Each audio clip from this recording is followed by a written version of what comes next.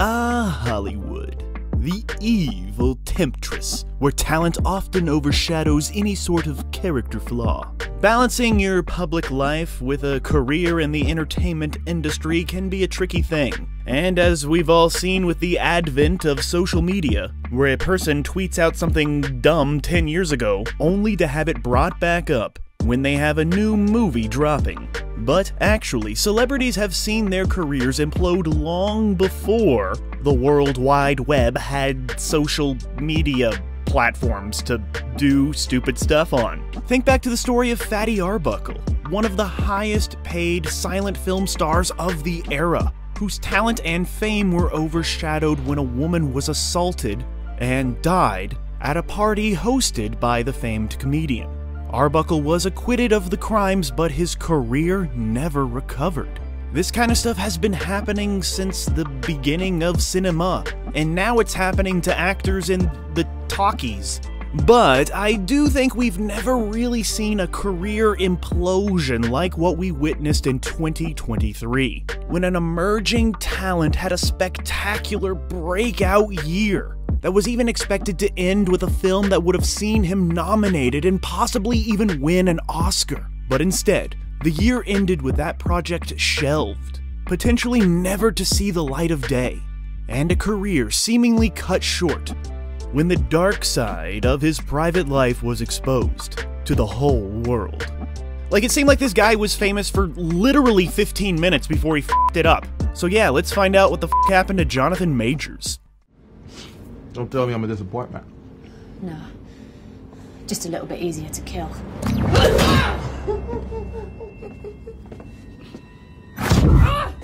Ah! But to truly understand what the fuck happened to Jonathan Majors, we must begin at the beginning of the beginning began when he was born on his birthday, 1989, California. Majors began his life living on an Air Force base with his family, as his father was in the service, before relocating to Texas, where Majors would later say that his father just kind of disappeared, abandoning the family for 17 years. This forced his mother to take care of him and his two siblings. His mother would eventually earn a master's degree to become a pastor. Majors has said that his mother's spirituality and hard work were major influences on his own life. But sometimes, without a male role model in a young man's life, sometimes some people start to act out. And unfortunately, a confused, angry young Jonathan Majors did just that. He was always in some sort of trouble, whether it was fighting in school or getting arrested for shoplifting. Funny enough, it would be fighting in school and getting into trouble that would eventually lead Majors to discover acting. After one of his many fights at his Dallas area school, Jonathan Majors was enrolled in an alternative education program, which would include performing on stage something Majors chose after being inspired by seeing Heath Ledger's performance in The Dark Knight. So, yeah, this amazing superhero villain performance would go on to inspire Jonathan to eventually pump out his own superhero villain performance in real life and on the screen. Oh! So, yeah, acting would turn into a passion for young Jonathan as he enrolled in the University of North Carolina School of the Arts before attending the prestigious Yale School of Drama. It would be while attending Yale that Jonathan Majors would land his first big role, playing young Ken Jones in 2007's Gus Van Sant miniseries When We Rise. That same year, Majors would make his big screen debut in an intense, gritty western that's pretty darn a-okay, kinda. It's good, yeah. The Christian Bale starring Hostiles.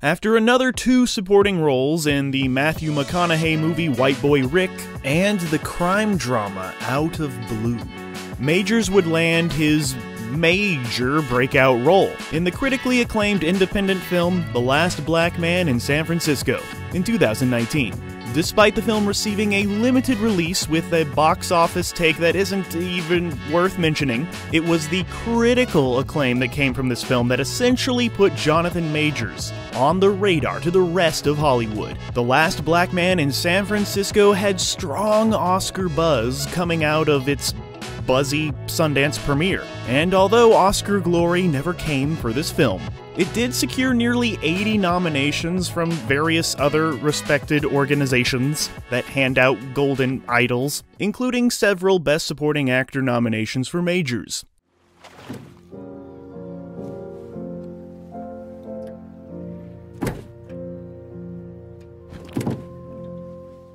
He would finish out 2019 by appearing in three under the radar films, including Captive State, Gully, and Jungleland, before landing a decent sized role in Spike Lee's joint, The 5 Bloods. This would be the first role that Majors got that he didn't have to audition for.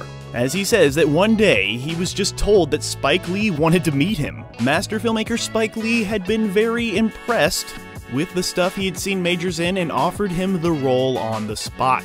And 5 Bloods was a very big hit for Netflix, also nabbing Majors along with his castmates a nomination for the Screen Actors Guild Awards for Outstanding Performance by a Cast in a Motion Picture. Later that year, Jonathan Majors would return to TV for the highly anticipated HBO horror series Lovecraft Country. The series would garner strong reviews, calling it marvelously entertaining. But sadly, it would be cancelled after just one single season with the studio citing budgetary reasons. M-m-m-money. Those tentacles must be expansive. The series would go on to receive over 140 nominations, including individual recognition for Major's leading performance. From more respected organizations that hand out Golden Idols, like the Emmys, he was nominated for that, Critics' Choice got a nomination, and some more Screen Actors Guild nominations. Yippee!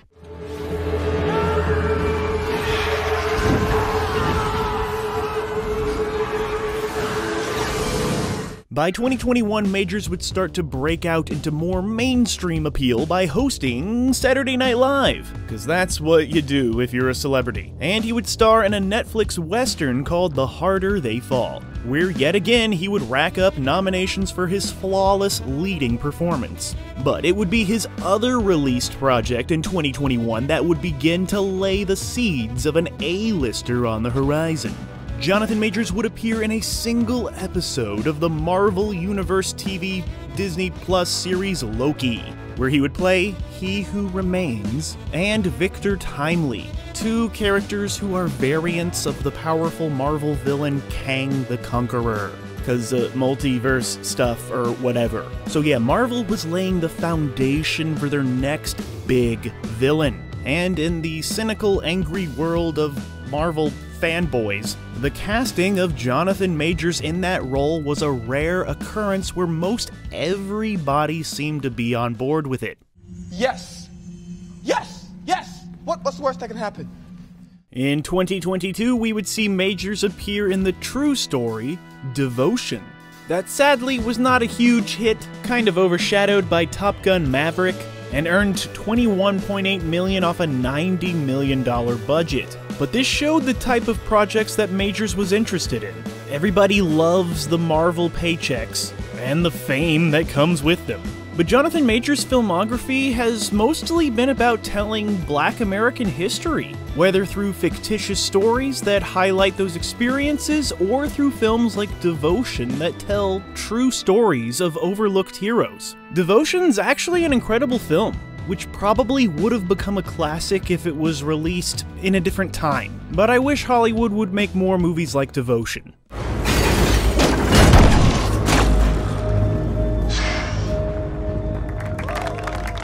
But it would be the year 2023 that would forever alter Jonathan Majors' life. Majors was primed for a huge leap forward in his career. He would kick off the year by appearing in the highly anticipated Creed 3, where he would play the film's antagonist opposite Michael B. Jordan's celebrated Adonis Creed character.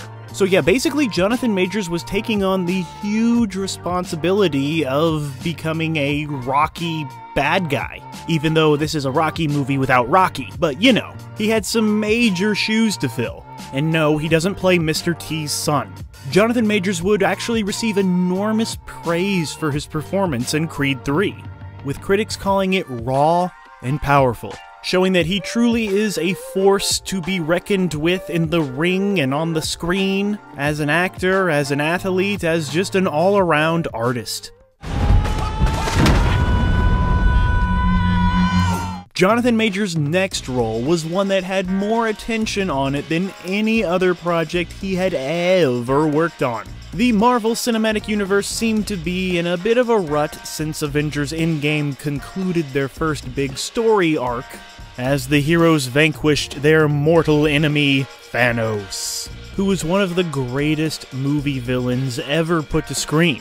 So there were some giant purple shoes that needed to be filled, but I mean, who could live up to what Josh Brolin was doing with the MCU? So yeah, in the meantime, everybody who cared was wondering who was gonna be the next big baddie. What antagonist will our heroes go up against next? In February 2023, we got our answer when Ant Man and the Wasp Quantumania hit theaters and audiences were finally introduced to Kang the Conqueror, as played by Mr. Jonathan Majors. This kind of wacky, fun, stupid movie would divide fans, as most would find it to be a lackluster entry into a fading franchise. But there was one aspect of the film that seemed to garner unanimous praise Jonathan Majors. He was absolutely perfect as the new purple bad guy. His performance alone got fans excited about the MCU again, and we almost cared about where it was heading.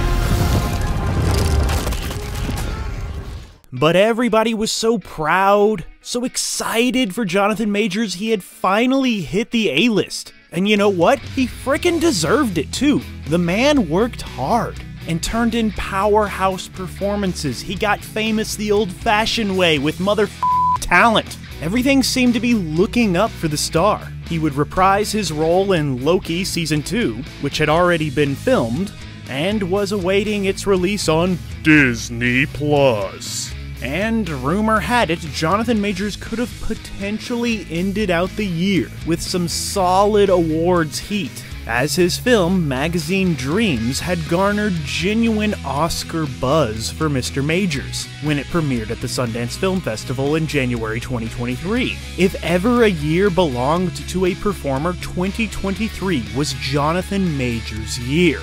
He was a superstar. I am king! And then, in an instant, Major's world came crumbling down, as if Thanos had just snapped it all away. On the evening of March 25, 2023, Jonathan Majors was arrested for a domestic dispute when his girlfriend told police that he had assaulted her, resulting in Majors being charged in several counts of assault and harassment. Jonathan's representative would release a statement saying that Majors had done nothing wrong and was in fact the victim of the assault, and he looked forward to clearing his name. His name, John Jonathan Majors.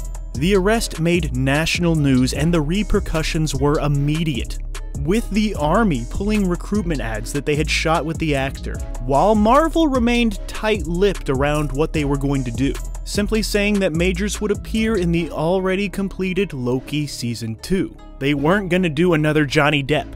Innocent until proven guilty, due process, and all that stuff. They were just going to wait to see what a trial of his peers and our legal system would decide. By June 21st, there seemed to be a bit of a tide shifting in favor of Jonathan Majors. He was frequently seen arriving to court with new girlfriend Meagan Good by his side, along with several pieces of information released by Jonathan Majors' attorney that hinted that he was actually the victim of the assault a claim that seemed to take further proof when Majors would file a domestic violence complaint against his alleged victim. And for anyone following the case, this would turn into one of those he said, she said kind of things. Nobody was really sure who to believe. And then, on June 29, 2023, Rolling Stone magazine released a scathing article where several people from Jonathan Majors' past would detail years of erratic and often abusive behavior by the actor. Rolling Stone had conducted a three month investigation into the actor, where they spoke with over 40 individuals who knew Majors throughout his life, including romantic partners and fellow students at the Yale School of Drama, all the way through production workers of his film Magazine Dreams. All sources wished to remain anonymous out of fear of Jonathan Majors. Through these interviews, Jonathan Majors was painted as a man with a violent streak who was adept at being emotionally, verbally, and even physically abusive, with one of his former girlfriends telling several sources that dating Jonathan Majors was, quote, emotional torture. The story that emerged from the article was one of a performer who was so intense that it made those around him uncomfortable and fearful. But it also showed a man whose private life was filled with unrealistic demands from those he surrounded himself with. A controlling individual that demanded to be in charge of those he was romantically involved with, right down to the food they would eat. Some of these claims seem to have been backed up during the trial, with an audio recording of Majors telling his alleged victim that he was a great man and that he expected her to be like Coretta Scott King or Michelle Obama. Because for some reason, this silly little actor man thinks he can compare himself to a great civil rights leader and a frickin' president. For his part, Jonathan Majors, through his attorneys, said that the allegations made by Rolling Stone magazine are false and that he never physically, verbally, or emotionally abused anyone. Have you ever had issues with domestic abuse? I've, I've witnessed it, um, but never participated, you know. I mean, I've, I've, I've been smacked up before, you know, but yeah, never, never exercised it. On November 29th, 2023, the trial against Jonathan Majors would begin. And through it, a picture would be painted of Jonathan Majors that was a far cry from the talented actor we had all grown to admire. Video footage would be shown from the night in question showing Jonathan Majors shoving his alleged victim back in the SUV, while also showing footage of Jonathan Majors running away from that same victim as she chased him. And text messages were released where Jonathan Majors discussed wanting to kill himself. This was truly a trial that could have gone either way. It seemed like there was evidence on both sides that could have seen a verdict of not guilty just as easy as guilty. On December 18th, 2023, a jury of his peers found Jonathan Majors guilty of misdemeanor assault in the third degree, while recklessly causing physical injury, as well as harassment in the second degree. The jury did, however, find him not guilty of misdemeanor assault in the third degree, with intent to cause physical injury, and misdemeanor harassment in the second degree. Essentially, the jury believed that Jonathan Majors did not attack his victim, but through reckless behavior caused the injuries she sustained that night. It wouldn't take long before the hammer dropped. Shortly after the verdict against Jonathan Majors was read, Marvel would formally drop Jonathan Majors from their roster. So yeah, I don't know, Kang just ain't gonna be a thing, I guess. While the release of his film Magazine Dreams, a film that had many claiming would get Jonathan Majors an Oscar, was put on the back burner indefinitely, with no current plans to release the film.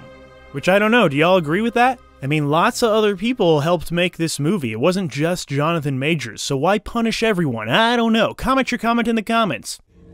We conquer eternity and the dynasty of kings. Mr. Major's sentencing is scheduled for February 6th, 2024, which if you're watching this video on the day it was uploaded, that's like less than a month from now. But most of the legal experts out there are saying that there's pretty much a 0% chance that he will actually do any prison time. So, yeah, it is still very unlikely that this actor will end up behind bars. Of course, uh, you never know, especially with today's legal system. Am I right? Or am I right? So, as you know, the character of Kang the Conqueror is expressed as many different people, akin to how Jonathan Majors plays many different people in his personal life. And his worst variant is that of an abuser. Let's just hope that in the future we are able to see a good, a positive variant of Mr. Jonathan Majors. So, yeah, Jonathan Majors started the year 2023 on the top of the frickin' world and ended it a guilty man with no career. On January 8th, 2024, Jonathan Majors would sit down with ABC News for his first public comments in nearly a year. In the interview, Majors maintains that he never put his hands on another woman in his entire life and calls all claims against him to be completely false. Jonathan claims that his biggest mistake was not being brave enough to end what he called a toxic relationship, and that he wished he had not gotten back in the car that night.